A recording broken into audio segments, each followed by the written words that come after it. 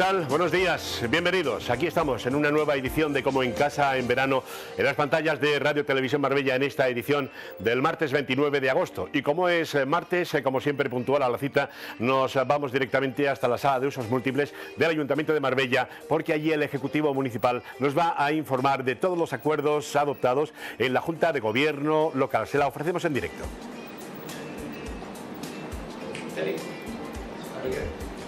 Buenos días, muchas gracias por su asistencia a esta eh, rueda de prensa de Junta de Gobierno Local en la que me acompaña hoy el director general, mi compañero Batonero León, director general de movilidad. Es uno de los pilares más importantes en la delegación, en la delegación de movilidad, de transporte y tráfico del Ayuntamiento de Marbella. Eh, y porque bueno, él se va a encargar precisamente de eh, trasladarle una noticia que tenemos también, que hemos desarrollado desde la delegación eh, a cuyo mando estoy yo, pero eh, en la cual se integra también pues, como segundo a bordo Baldomero, y que tiene que ver con la movilidad, que tiene que ver con el fomento, en definitiva, de las nuevas prácticas que queremos eh, que se instauren en esta ciudad como modelo para otras ciudades y que él, como les decía, les va a desgranar, no sin antes yo aprovechar, ya que están aquí en la rueda de prensa también, para darle eh, las gracias por su trabajo siempre dedicado al personal de la Delegación de Tráfico y Movilidad. Está aquí Rafa, eh, Rafa Toscano, que es el jefe del servicio Inspectore, y también con Miguel Ángel Victoria. Muchas gracias por vuestro trabajo en la delegación. Decirles que en la Junta de Gobierno Local se han llevado adelante un par de asuntos que son los que queremos, eh, que son los que queremos en definitiva resaltar entre otros muchos más de índole cotidiana, pero dos en concreto que por ser singulares creemos que son de eh, relevancia suficiente como para que les demos cuenta en esta Junta de Gobierno local. El primero tiene que ver con un acuerdo que se trae por parte del de, eh, concejal delegado de urbanismo, José Eduardo Díaz, que tiene por objeto precisamente el establecimiento de eh, una instrucción de aplicación general sobre los contenidos eh, que tienen que tener en infraestructuras eh, y redes de servicio y movilidad todos y cada uno de los planes parciales. La importancia que tiene este acuerdo tiene que ver precisamente con este proceso en el cual eh, estamos encaminando la gestión urbanística hacia la plena aplicación, la aprobación definitiva y la plena aplicación del nuevo Plan General de Ordenación Urbana y que tiene que ver pues con una mm, transparencia absoluta, con, una, eh, con un planteamiento en todo momento em, eh, de seguridad jurídica para cualquier inversor, para cualquier promotor que en definitiva vaya a llevar adelante cualquier inversión en nuestro municipio. Cuando hablamos de los contenidos mínimos que deben de tener esos planes parciales, estamos hablando de todas aquellas infraestructuras que cualquier plan de urbanización tiene que llevar adelante. Contenidos que tienen que ver, pues, eh, con eh, las redes viarias, el trazado que se tiene que incluir en esas redes viarias, los movimientos de tierra que se tienen que realizar precisamente por, eh, para garantizar que en ningún momento hay una afectación que no fuese admisible al medio ambiente de nuestro municipio todas las redes de servicio que deben de tener cada una de esas urbanizaciones y también todas las conexiones exteriores a las infraestructuras y redes de servicio. Es decir, comunicaciones, infraestructuras, redes internas y conexión con las externas. En definitiva, este, esta instrucción que hoy se ha aprobado y que se publicará en la página web es una instrucción que lo que garantiza es que el nivel de servicio que da cualquier urbanización en nuestro municipio es un nivel de servicio homologable a la categoría de nuestra ciudad. Homologable, en definitiva, a una ciudad europea del siglo XXI. Y eso eh, nosotros no solo exigimos que se garantice, sino que además lo publicamos para que ningún promotor tenga ninguna duda al respecto de cuáles son eh, las cuestiones eh, que se tienen que incluir en ese proyecto de urbanización que realicen. Esto no es baladí porque si eh, miramos hacia el pasado, podemos encontrar que en el pasado de Marbella hay situaciones bastante em, terroríficas que tuvieron que ver con, esas, con esos proyectos de urbanización, donde prácticamente no había servicios, donde en algunos casos eh, pues vimos que ni siquiera había redes de saneamiento. Todo eso eh, va a quedar claramente proscrito eh, sin ningún tipo de eh, margen para que se pueda colar en nuestro planeamiento urbanístico con esta instrucción que se realiza ahora.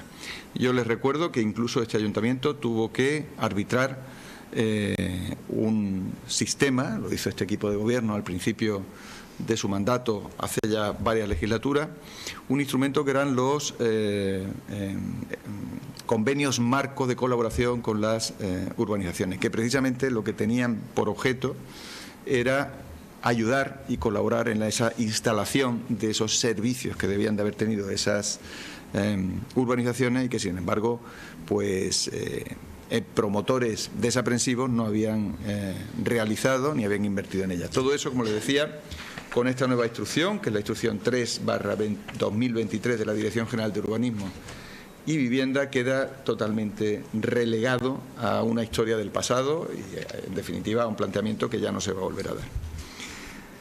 Decirles que también, y es el segundo punto eh, que ahora les eh, desgranará mi compañero Baldomero, el segundo punto tiene que ver con la celebración de la Semana Europea de la Movilidad. En alguna rueda de prensa ya se lo hemos trasladado, pero se lo volvemos a decir ahora. Entendemos que esta legislatura, este mandato, debe ser el mandato de la movilidad en nuestro municipio. La movilidad significa muchas cosas, significa eh, tranquilidad, significa comodidad, significa también eficiencia energética. De hecho, esta semana, eh, esta Semana Europea de la Movilidad, se ha asociado eh, precisamente a ese concepto de eficiencia energética. Un concepto que desde el Ayuntamiento de Marbella ha sido un norte eh, en toda la gestión. Eh, y que en definitiva pues ha em, permeado toda la gestión municipal apoyando medidas que favoreciesen siempre el ahorro y la eficiencia energética. Llevamos varios años con un control del gasto de la luz, del agua, de la calefacción, de los combustibles. Estamos renovando todas las luminarias, cambiando las que se tienen que cambiar a las de tipo LED. Se están eh, controlando los dispositivos eléctricos con sistemas de corte de suministro temporal, como las regletas en los ordenadores, relojes temporales, en farolas, etcétera. Todos los semáforos están ya también eh, con LED, o se está eh, tendiendo a la sustitución total de esos semáforos por LED.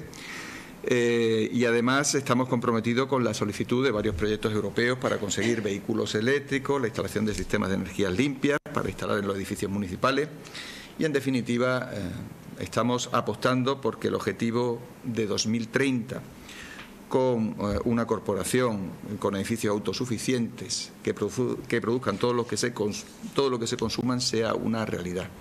Una realidad que también llega hasta el Plan General de Ordenación Urbana en el cual se está planteando un modelo eh, en el cual de alguna forma se fomenta también la posibilidad de generar eh, energía gratuita y limpia a través de ese recurso que tenemos, que son esos 300 días de sol al año. Pero qué duda cabe que la eficiencia energética hoy en día tiene que ver sobre todo con el gasto en transporte, con el gasto en movilidad, y ahí es donde nosotros, eh, de alguna forma, queremos incidir eh, y queremos eh, trasladar nuestras propuestas de gestión para el siguiente mandato a través de esa, de esa inversión, en definitiva, en la promoción de transportes que sean poco agresivos con el medio ambiente y que sean muy eficientes energéticamente. Esa apuesta que hemos hecho por el transporte colectivo gratuito eh, en perjuicio eh, de los vehículos privados, que deberán de coexistir, pero tendrán que tender también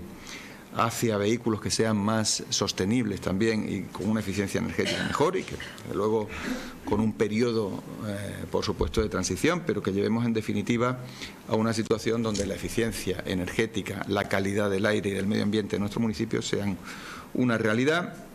Y ya les decía, antes se lo comenté también, dentro de esa mecánica que hemos establecido o de esa tendencia que se está planteando desde el ayuntamiento, pues se inscriben también esa inversión en vehículos eléctricos por parte de la corporación en la medida de nuestras posibilidades. Eh, para hablarles concretamente de la Semana Europea de la Movilidad del 2023, le voy a ceder la palabra a mi compañero Baldomero. Eh, que ha trabajado muy directamente sobre, sobre esta semana, sobre la idea que tenemos, sobre el mensaje que se quiere enviar a toda la ciudadanía. Gracias. Por supuesto, después estaremos a su disposición para cualquier pregunta que quieran hacernos.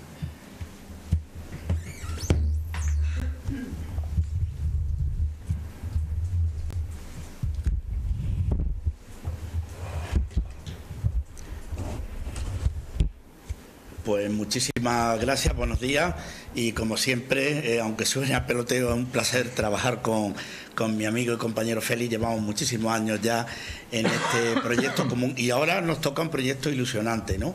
Como es eh, abordar realmente o seguir, ¿no? En la línea de la eficiencia energética en base a todo lo que es la movilidad, ¿no? Claro, obviamente nosotros, les cuento rápido para hacer una introducción, en el año 19 eh, el Ayuntamiento de Marbella participó en lo que se, acuerdan ustedes que fue la cumbre mundial eh, por el clima en Madrid, momentos antes de que entrara la pandemia. Bueno, pues el Ayuntamiento de Marbella llevó allí un proyecto concreto eh, que era el de eficiencia energética, lo tenemos en la página web y lo planteó allí. Éramos, somos, como ustedes saben, 8.000 municipios de toda España y solamente cogieron ocho modelos distintos en toda en esa cumbre, ¿no? Pues uno de ellos era Marbella y planteó ahí ese modelo de eficiencia energética en general, ¿no? Nos dijeron que tocáramos algo de movilidad, algo también de construcción.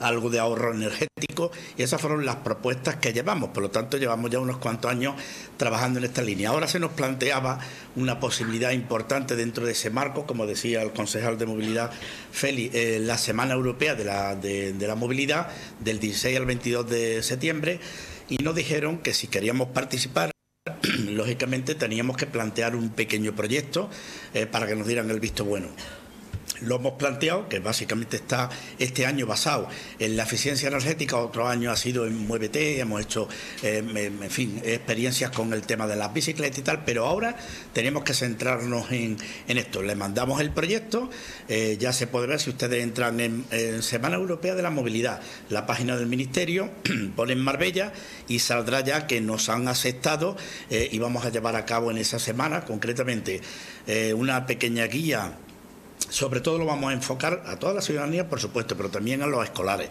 Vamos a contar con una persona que está en el departamento nuestro, que se llama Gema, que es policía municipal, que es la encargada también de seguridad vial y de educación en ese sentido, de la, todo lo que está relacionado con la movilidad. Y ahí vamos a dar durante esta semana que viene, ya más adelante presentaremos el proyecto esa guía de información para los más pequeños. ¿no? Yo creo que con eso vamos a colaborar modestamente en nuestra aportación, lo que va a ser Marbella, porque son más de 300 municipios los que están ya inscritos a nivel europeo. ¿eh? Por supuesto, están todos los países de Europa, ¿no? casi todos. Entonces, en ese sentido, el ayuntamiento es que ya lo viene haciendo, ¿no? Viene trabajando en esta línea y ahora lo que hablamos con el concejal y con los trabajadores que están aquí presentes, vamos a diseñar, vamos a darle una vuelta más para ver cómo podemos hacer más eficiente a nivel energético eh, realmente el tema de la movilidad, ¿no? Y hay pues cuestiones importantes, ¿no? Una de ellas que él lo ha apuntado rápido, eh, se nos planteó cuando además también Feli era el concejal de, movilidad eh, hasta el año 19, ¿no? En tener yo creo que una magnífica idea que es el transporte público, además gratuito, con lo cual lo que hemos hecho, lo, pero vamos rápidamente, y en fin, no tenemos datos de cuánto ha bajado la huella de carbono, pero no sé, no le quepa duda que le hemos bajado un montón porque la gente, muchísimo, yo vivo en un barrio y me dicen, pues yo ya prefiero dejar el coche aquí, Baldo, y coger el autobús porque nos lleva eh, de, un, de, una punta a otra del, municipio de Marbella, desde San Pedro hasta La Chapa. Esto parece una tontería, pero es muy importante, ¿no? El hecho de que hayamos eh, colaborado a que, como digo, se contamine menos, dejemos el coche ahí y nos movamos. Bueno, pues aparte de eso, estamos trabajando en otras líneas más y con proyectos europeos, pero básicamente la noticia que hoy traíamos aquí desde la Delegación de Movilidad es que vamos a participar como miembros de pleno derecho en esa Semana Europea del 16 al 22, que más adelante le daremos ya digo, los proyectos concretos y que es una buena noticia que Marbella esté en ese marco y en esa línea, ¿no? Y como dice eh, Félix, pues estamos a su entera disposición si tienen alguna pregunta que hacer, ¿no? Pues eh, así están eh, las cosas y el Ejecutivo Municipal que nos ha informado sobre los acuerdos adoptados en Junta de Gobierno local y ha sido pues el primer compás eh, que le hemos querido ofrecer abriendo esta, mm, este día en las puertas abiertas de Como en Casa en verano en Radio Televisión Marbella. Dos de los acuerdos, se los recuerdo, dos de los acuerdos adoptados, uno relacionado con la Concejalía de Urbanismo donde em, se va a crear ese proyecto sobre la transparencia jurídica para cualquier promotor que quiera invertir en nuestra ciudad, sobre todo en redes viarias, movimientos de tierra, etcétera, etcétera. Y una de las más importantes, como bien decía también el eh, director de movilidad, eh, Baldomero León, la celebración de la Semana perdón, Europea de la Movilidad del 16 al 22 de septiembre, que ya se ha presentado un proyecto, se le ha aceptado desde el Ministerio eh, y esta semana, pues este año va en torno a la eficiencia energética. De todas formas, todas estas noticias de los acuerdos adoptados en Junta de Gobierno local se lo van a ofrecer nuestros diferentes compañeros en los informativos en directo de esta casa. Por un lado, a las 2 de la tarde en la radio, en la 107.6 FM y, como no, a las 2 y media de la tarde en el informativo que presenta Roberto Martes, precioso, día del martes 29 de agosto. Estamos casi prácticamente finiquitando este mes de agosto para darle la bienvenida a septiembre. Eh, septiembre es un mes que a mí particularmente me gusta sobre todo para disfrutar de unos días de descanso, porque, hombre, tienes más movilidad, ya que estamos hablando de movilidad, tienes la oportunidad de disfrutar de eh, no tanta aglomeración, ¿verdad? Que está muy bien las aglomeraciones, sobre todo para eh, recibir con los brazos abiertos a todos los visitantes que vengan aquí a, nuestro municipio. Pero también hace falta un poquito de respiro eh, a la hora de, coger vacaciones. Vacaciones en septiembre u octubre. Pues ya son dos meses que también empiezan a incrementarse la ocupación hotelera. Y hablando de hoteles, verán, eh, a pie de una de las mejores playas de Marbella, las del Viria, donde pasear cada mañana, darse un baño refrescante y desconectar, tenemos un hotel aquel hotel que comenzase su andadura en 1969, ¿eh? donde eh, se inauguró eh, y acudió el mismísimo Conrad Hilton, el fundador de la primera cadena hotelera del mundo y bisabuelo de Paris Hilton. Desde entonces, el Hotel Don Carlos no ha dejado de renovarse. Y sí, ese entorno, el Hotel Don Carlos, sí sigue siendo un oasis. Sandra Caballé, directora del Hotel Don Carlos, buenos días, ¿qué tal? Bienvenida. Eh, muchas gracias, ¿qué tal? Muy bien, gracias. Eh, sigue siendo el entorno del Hotel Don Carlos un oasis, ¿no? Totalmente, ¿no? Yo creo que lo que nos diferencia son los eh, magníficos jardines, ¿no? Que nos une lo que es el edificio principal con, la playa, ¿no? Con nuestro beach club. Mm y es bueno pues eh, un, valor añadido sin duda no mm. hemos querido ponernos en contacto contigo para hablar de varias cosas eh, que atañen bastante y directamente al hotel Don Carlos uno de los emblemas del gran lujo en Marbella entre ellos los dos galardones que habéis recibido eh, que ahora hablaremos de ello ahora que acabamos también y que culminamos el mes de agosto con un poco de balance de cómo ha ido el verano. Y esta mañana, Sandra, me imagino eh, que lo habrás leído. Hoy nos hemos desayunado en la prensa, en eh, la prensa de tirada provincial, una noticia eh, que se publica que dicen que los hoteles van a cerrar agosto, casi como en el histórico 2019. Verás, hace poco hablábamos con el vicepresidente de AECOS y nos daba una cifra, una cuantía entre la ocupación del 86%, pero es que ya culminando agosto casi casi se iguala a la fecha histórica y a la cifra histórica del 2019, ¿no? ¿Tú cómo lo ves?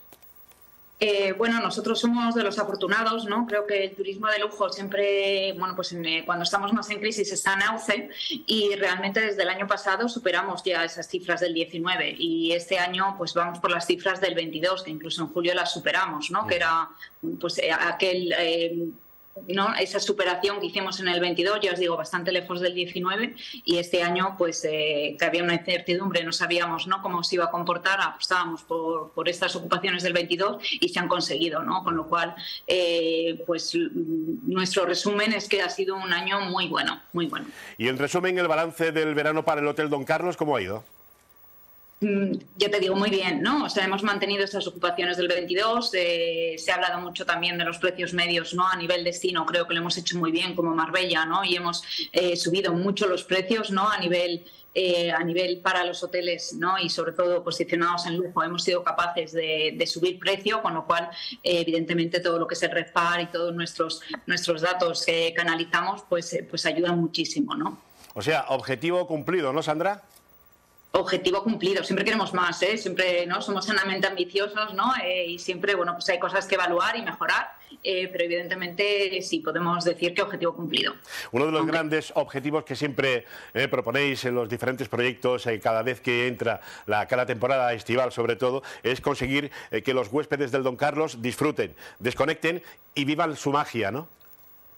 Totalmente, yo siempre digo eso, ¿eh? y, me encanta cuando entra alguien por la puerta, ¿no? que le ves cansado ¿no? de, todo el trabajo, ¿no? y, se les nota, ¿no? Eh, cansados, eh, bueno, pues de una manera, ¿no? Y cuando los ves salir, siempre digo, eh, los vemos salir de una manera diferente, ¿no? Con otro color, con otra alegría, ¿no? Con otra energía, ¿no? Siempre digo, hay que desconectar eh, para volverse a conectar, ¿no? Y volver a, volver a la rutina, ¿no? Con las pilas cargadas, ¿no? Eh, y sin duda, don Carlos, ¿no? Es una de las cosas que nos centramos mucho, ¿no? En crear experiencias y que, vuelva la gente a casa, los huéspedes, con, con esas pilas renovadas y ese, esa energía, ¿no? Aparte de haber pasado, evidentemente, unos días estupendos Mm. Por cierto, eh, ¿qué líneas estratégicas os habéis marcado para potenciar este año el servicio de lujo y el posicionamiento en lo más alto dentro de las cadenas de, de hoteles de cinco estrellas que lujo?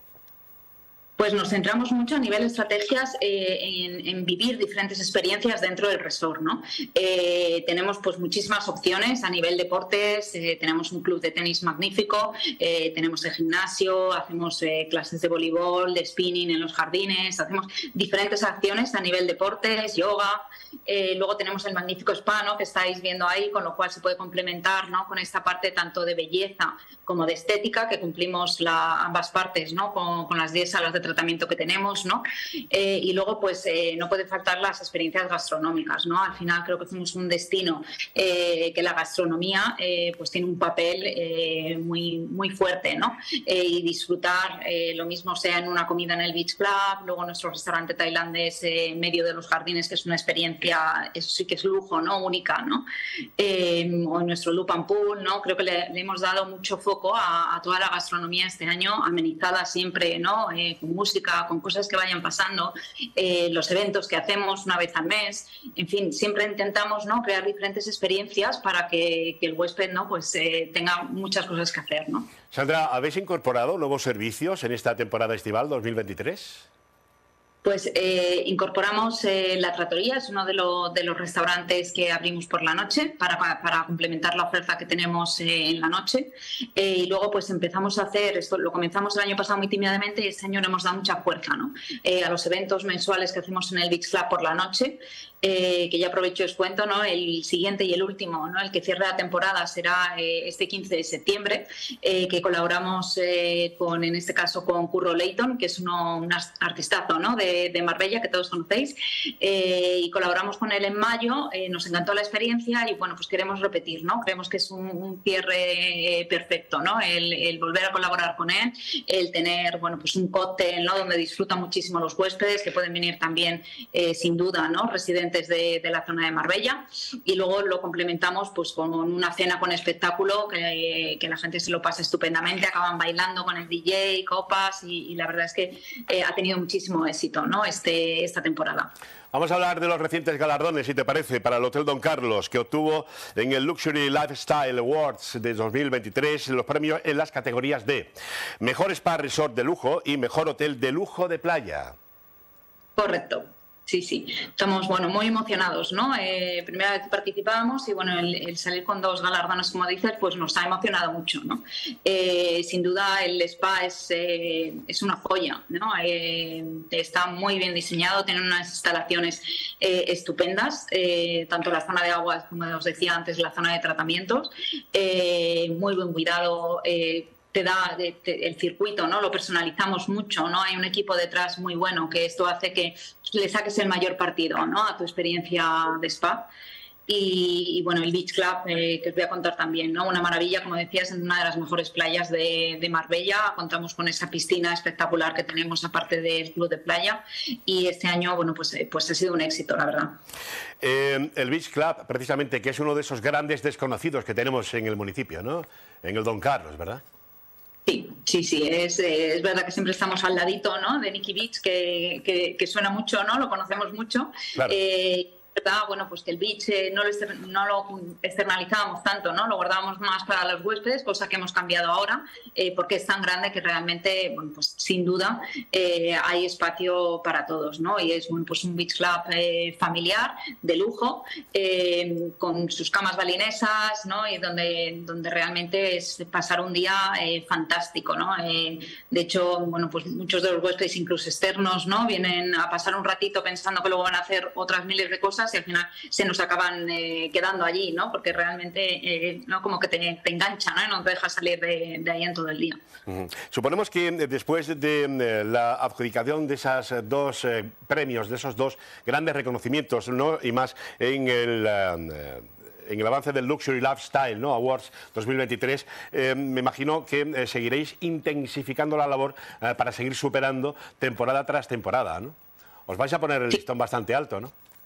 Sí, sí, sí, ese es el reto, ¿no? Yo creo que nunca se puede parar, ¿no? Eh, la vida está en movimiento, eh, hay constantes cambios, con lo cual, eh, por muy bien que salgan las cosas, hay que seguir analizando, hay que, hay que innovar, hay que crear y hay que siempre dar diferentes, pues diferentes opciones, ¿no? ¿no? No quedarnos en lo mismo, ¿no? Además, tenemos muchísimos huéspedes habituales, con lo cual siempre nos gusta sorprenderles con cosas nuevas, ¿no? Con lo cual, pues ya vamos trabajando para, para el futuro, sin duda.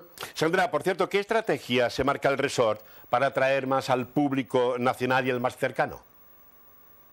Eh, pues realmente apostamos mucho, como decía antes, por la gastronomía. Creo que era uno de los puntos eh, que teníamos eh, ahí más parados y le estamos dando pues muchísima energía a, todo lo que es la, gastronomía y va a ser una de las estrategias principales.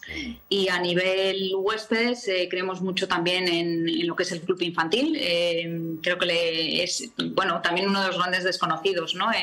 muy popular, los niños lo pasan estupendamente, los padres están muy contentos, con lo cual es una buena combinación ¿no? de tener eh, un sitio donde puedan disfrutar los peques, donde los padres puedan disfrutar de una manera separada también de ellos y luego se, se asocien ¿no? en conjunto para pasar tiempo en familia también. ¿no? Esas estrategias creo que son claves, ¿no? aparte de sin duda el servicio personalizado que para mí es siempre lo, lo que tiene que primar ¿no? en, nuestras estrategias eh, para conseguir que los huéspedes no solo vengan, sino que repitan. ¿no? Desde luego. Em, Sandra, una vez te oí decir eh, que em, la pandemia del COVID-19 ha ayudado a aprender, ¿no? ¿Nos ha servido como experiencia para seguir aprendiendo? Totalmente, sí, sí, yo creo que bueno, todo nos ayuda a aprender, ¿eh? todas las experiencias que pasamos por la vida pues nos ayuda a aprender, ¿no? Pero sin duda eh, estamos en una época eh, de, mucho estrés, de ir todo muy rápido, ¿no? Entonces muchas veces cuando estás ahí como que el día a día te come, ¿no? Digamos. Entonces el poder parar, ¿no? el poder pensar, analizar bien todo lo que estamos haciendo, todo lo que, ¿no? Todo el potencial que teníamos para hacer, creo que, en nuestro caso nos ayudó, nos ayudó mucho ¿no? a poner las bases, los cimientos bien y crecer, crecer bien, ¿no? Eh, no crecer que en una torre que se pueda derrumbar, sino, sino poner unos buenos cimientos para empezar a, crecer ¿no? de una manera muy sólida. ¿no? Sin, duda, sin duda lo creo. Pero luego pandemia que ya queda un poco como pesadilla, ¿no? después de que ahora se van a cumplir prácticamente tres años ¿no? de todo lo que ocurrió a, nivel global. ¿no? Eh, desde hace tres años eh, se ha vuelto a recuperar los viajes de reuniones e incentivos, tanto para turistas individuales como grupales? Sí, yo es uno de los, eh, de los segmentos que pensé que iba a tardar más en recuperarse, ¿no? Por las anteriores crisis que habíamos tenido, eh, pero sin duda me equivoqué, ¿no? Eh, gratamente, ¿no? En este caso me alegra haberme equivocado porque la verdad es que se, reinició totalmente, ¿no? Eh, volviendo a los niveles que teníamos. Eh, sí es cierto que cambió un poco esa dinámica, antes eh, pues hacían con muchísimo tiempo de antelación ¿no? y jamás hubiéramos pensado hacer grupos grandes ¿no? En, poco tiempo de antelación y esto lo estamos haciendo ahora. ¿no? Creo que no solo nosotros, ¿no? sino creo que hemos sido mucho más ágiles ¿no? porque, porque incluso grupos grandes te los contratan con poco tiempo de antelación cuanto antes podía ser con un año. ¿no? Entonces, pues otro aprendizaje, ¿no? El, el poder hacerlo, ¿no? Desde luego. ¿En el Hotel Don Carlos ha aumentado las estancias del público nacional o por el contrario siguen en aumento los eh, clientes procedentes de otros países? Te enumero eh, Suecia, Holanda, Bélgica, Francia, Estados Unidos, que también es un gran poder adquisitivo, eh, o por ejemplo los mercados de Oriente Medio. ¿Cómo va la balance entre el turista nacional al de otros países? Pues sí que hemos notado ahí un pequeño cambio. Es verdad que a nosotros eh, la nacionalidad española no, nunca ha sido una de las, de las principales, quitando lo que es la época estival, pero eh, bueno, pues siempre está en, los top 5 que yo le llamo, ¿no? pero no de los primeros. Eh, y este año sí es cierto que nuestra primera nacionalidad siguen siendo los, los ingleses, es la primera que tenemos, pero sí que hemos notado un descenso de, de, esta nacionalidad y sí que han aumentado otras, como por ejemplo los, los árabes, que siempre hemos tenido, pero han aumentado eh, bastante y además todas las que comentabas ¿no? de, del norte de Europa o Francia también hemos visto eh, un incremento, incluso las americanas, ¿no? Sí que, sí que han aumentado, y os digo, con, eh, con la nacionalidad inglesa siempre ha sido nuestro gran diferencial, pero sí que hemos notado el aumento de esta y un poquito de bajada de, de los ingleses. Desde luego que sí. Em, en tu opinión, ¿en qué situación se encuentra ahora mismo el sector turístico en la Costa del Sol? ¿Cómo lo ves? Eh, bueno, yo creo que siempre estamos como en incertidumbre, ¿no? Es una palabra nueva que hemos introducido, ¿no? Eh, y que ya viene para quedarse, ¿no? Eh, nunca podemos dar nada por sentado, ¿no? pero bueno, creo que está consolidándose estas, estas cifras que hemos estado consiguiendo, como, como te decía, después de pandemia en el 22. y bueno, pues estamos en una época de consolidación, de estabilización, ¿no? cuando el año pasado íbamos en crecimiento, ¿no? Entonces, bueno, pues ahora nos estamos consolidando en estas cifras y hay que saber mantenerse ahí y, no bajar, ¿no? Creo que es donde nos estamos moviendo ahora mismo. Em, ¿Qué opinión te define y eh, para ti es la marca Marbella? ¿Tú qué opinas de marca Marbella? Bueno, marca, soy una enamorada ¿no? de la marca Marbella, ¿no? Eh, es pasión, ¿no? Eh, Marbella pues es eh, lujo, bien hacer, ¿no? Creo que estamos en una época de Marbella en la que estamos haciendo muy bien las cosas. Siempre me habrás oído comentar, ¿no? La, colaboración público-privada, creo que estamos en una época que lo estamos haciendo muy bien, ¿no? desde el ayuntamiento, ¿no? Se promueve mucho, eso se nota, nos ayuda muchísimo. entonces creo que, bueno, que Marbella, aparte de, lujo, ¿no? De, de relajación, ¿no? Evoca como muchas palabras eh, muy potentes, ¿no?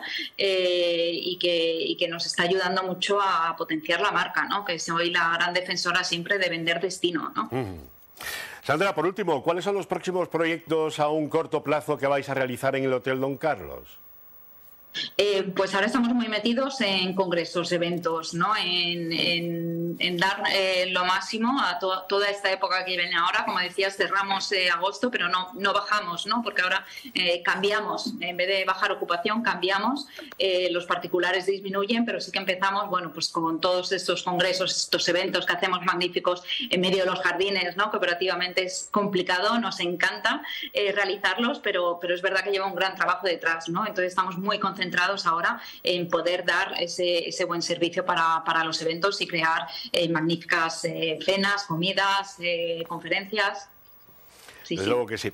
Sandra Caballé, directora del Hotel Don Carlos, enhorabuena por esos dos galardones que han obtenido en el Luxury Lifestyles Awards 2023, uno como mejor spa resort de lujo y mejor hotel de lujo de playa. Enhorabuena para ti y para todos los profesionales que formáis el Hotel Don Carlos. Felicidades. Muchísimas gracias, un placer.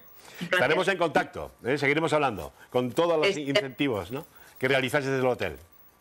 Perfecto. Feliz día. Igualmente, feliz día. Buenos días. Gracias, Sandra. Gracias.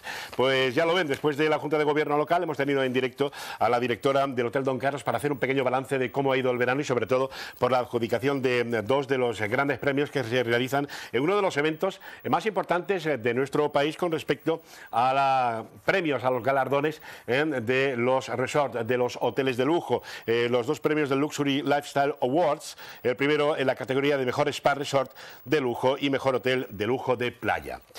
Así hemos comenzado en directo, eh, como en casa en verano, en este martes 29 de agosto. Verán, eh, muchas veces, a lo mejor cuando eh, tienen un plano general donde tengo el guion, donde tengo el móvil, y se estará preguntando muchas veces, hay que ver Jesús Jaén que tiene al lado, su, a su lado, pues tengo el, móvil. Pues es muy importante, por una sencilla razón, porque estoy absolutamente comunicado por todas las noticias que puedan surgir y sobre todo por la asistencia de los invitados. Verán, estamos a la espera de que nos llegue la presidenta de Maidán, que es la Asociación de Ucranianos en Málaga. Pero resulta que mientras estaba hablando con Sandra Caballé, he recibido un mensaje porque la presidenta de Maidán, eh, Olena Sampara, se encuentra en medio de un atasco de tráfico y me ha pedido por favor que eh, le esperemos unos minutos. Así que no hay ningún problema, eh, cuando llegues llegarás. Lo importante es que estés tranquila y que tenga paciencia. Los atascos es normal. Y mm, si es por algo material, vale. Menos mal que no sea por un accidente, pero bueno, importante. Así que estamos a la espera de que llegue la presidenta de la asociación Maidán, la asociación de ucranianos en la Costa del Sol, Olena Sampara. Pero tenemos más invitados, por supuesto, y muchas más cosas que tenemos que ofrecerles. De momento, de momento, vamos a intentar después, ahora en unos minutos, contactar pues, con una de las em, asiduas cada martes con nosotros, em, como en casa. Vamos a intentar en unos minutos hablar de recomendaciones de libro con em, Remedios Bonilla, que nos estará esperando desde la Casa del Libro en el Centro Comercial La Cañada. Pero mientras eh, tenemos esa conexión, rápidamente nos vamos a encontrar con la previsión meteorológica que tenemos para hoy en nuestro municipio. Martes 29 de agosto, caluroso. Ya lo ven en la infografía en Marbella, en el transcurso de la jornada, cielos despejados, ambiente soleado, con temperaturas altas rondando los 28 grados. Ha bajado un poquito la temperatura y eso es de agradecer, del 31 grados que teníamos ayer, 28.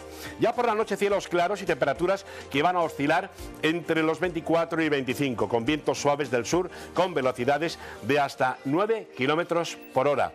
Eso en cuanto a la previsión meteorológica.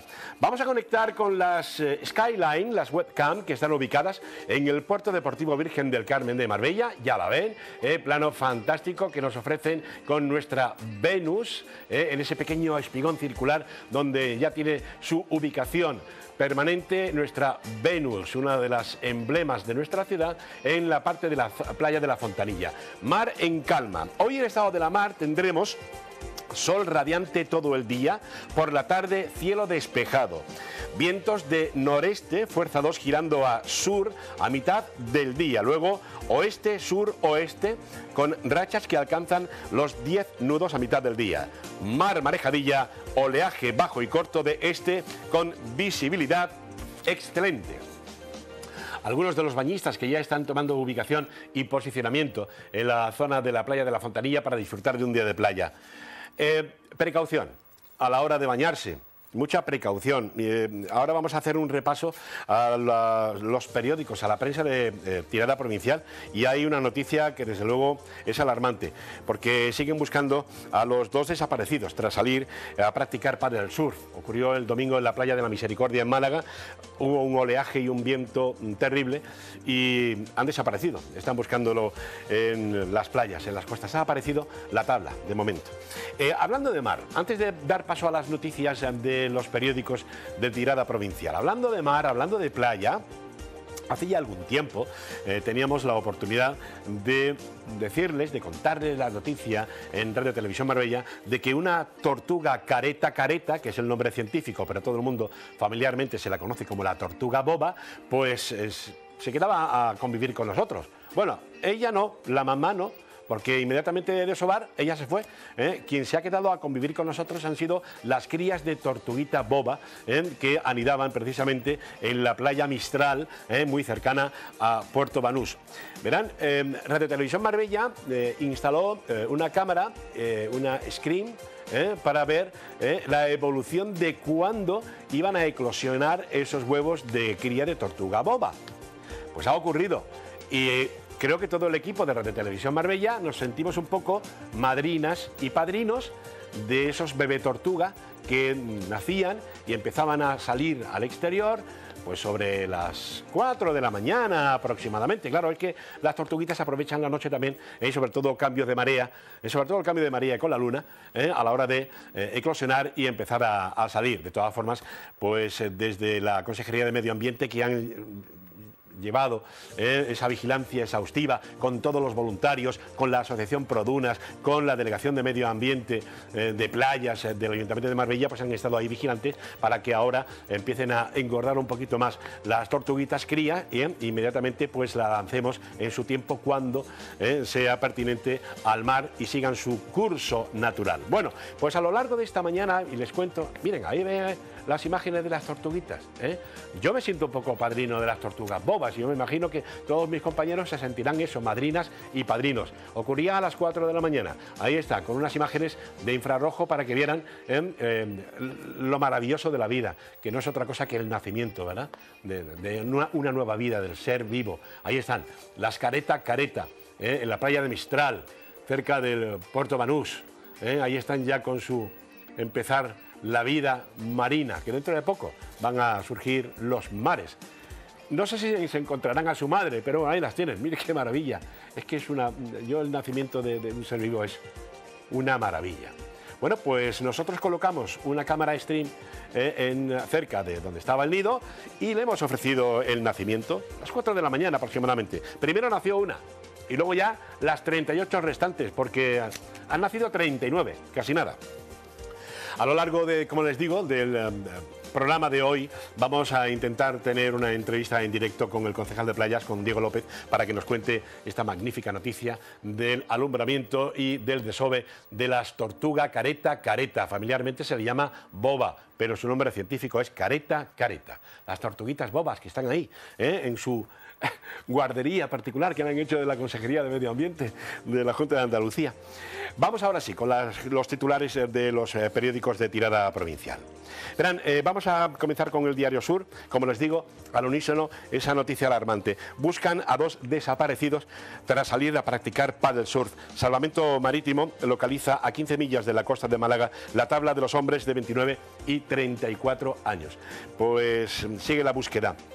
Entre las noticias, la fotografía de portada calentando motores para el nuevo curso escolar y nuevo curso universitario. Septiembre llena la Biblioteca General de la Universidad de Málaga, llena la Biblioteca General de la UMA.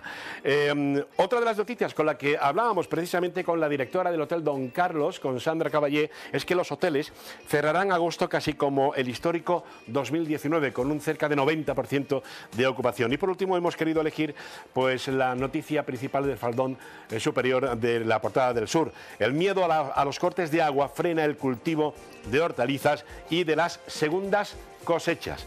Son las noticias que hemos querido elegir hoy del diario Sur. Vamos con el diario La Opinión de Málaga la fotografía de portada al unísono con la del sur. La biblioteca Jorge Guillén abre sus puertas en San Andrés, también ya para los preparativos y preparación del curso escolar y universitario 2023-2024. Em, otra de las noticias eh, que hemos querido elegir, el vino de Málaga encara el reto de recuperar el nivel de ventas pre-COVID. Y por último, buscan dos desaparecidos que hacían paddle surf en la playa de la Misericordia. Por último, vamos a la portada del diario Málaga Hoy.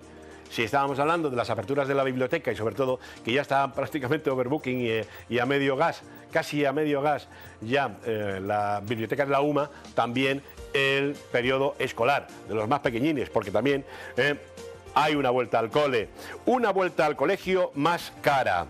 Los precios de los libros suben un 5% respecto al curso pasado. Increíble. Vamos a encontrarnos con más noticias. Hayan en el mar la tabla de sur de los dos desaparecidos en Welling. Y por último, una noticia de automoción. Verán, parece ciencia ficción. No lo es. Ford, la marca Ford, venderá en España el coche que se conduce sin manos. Eh, parece que es un regreso al futuro, ¿verdad? La película de Michael J. Fox, eso de decir, no, esto ya es del futuro, es 2100 y pico, un coche que te metes dentro, ya no tienes ni que conducirlo ni nada, no, no, no. Pues ya es una realidad.